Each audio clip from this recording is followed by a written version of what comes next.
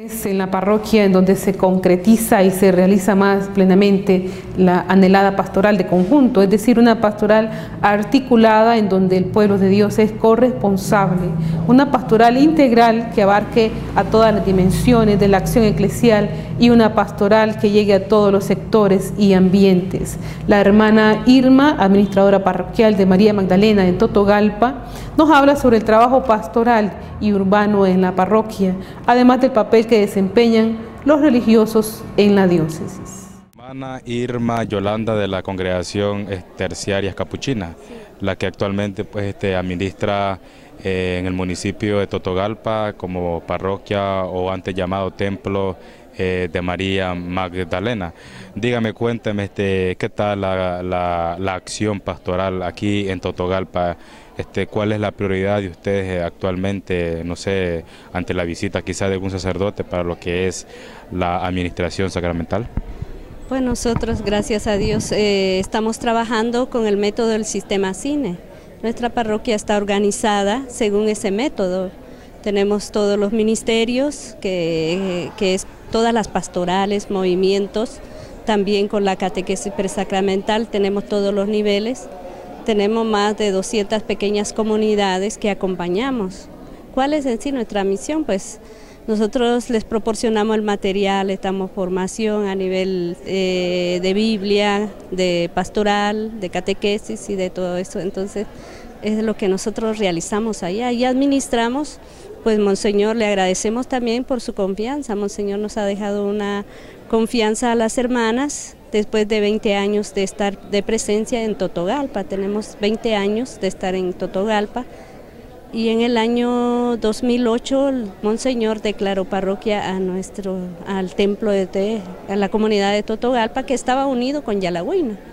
Pero ellos lo, ahora lo separó, entonces nos dejó a nosotros la administración de esa parroquia para trabajar y administrar pues gracias a Dios ha sido una experiencia bastante bonita, después ya casi llevamos como seis años de experiencia de ser parroquia, estamos en eso. Como parroquia y zona, hablando así de zona urbana, Totogalpa, existen comunidades, hablando así como zona rural, que atiendan ustedes y, y cómo es el sentir de estos fieles ante la presencia formativa de hermanas religiosas.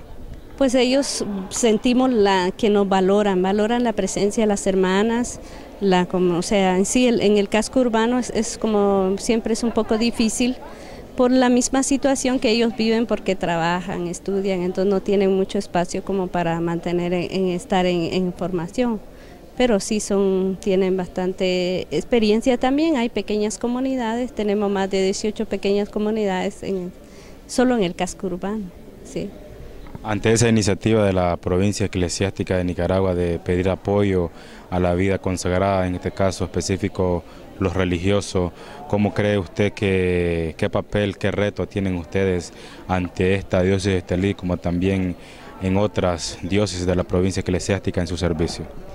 Pues para nosotros es un reto bastante grande y es una responsabilidad el asumir una parroquia, pero necesitamos que que también el apoyo de los laicos, sí, aunque también estamos eh, viendo la necesidad sí, de un sacerdote que, esté ahí directamente, porque nosotros damos la parte evangelizadora, o sea, la formación a, los, a las personas, pero a nivel sacramental lo sentimos un poco una debilidad a veces, porque hace falta sí la presencia y, la persona del sacerdote como un acompañamiento para complementar directamente el trabajo que nosotros realizamos. Hace falta y Esperamos que todo con esta experiencia del sínodo pues eh, sea tomado en cuenta, ¿verdad? Que las parroquias donde no hay sacerdote es importante la presencia y que trabajemos en comunión para que demos ese testimonio de comunión a nivel de Dios y a nivel de iglesia de Nicaragua.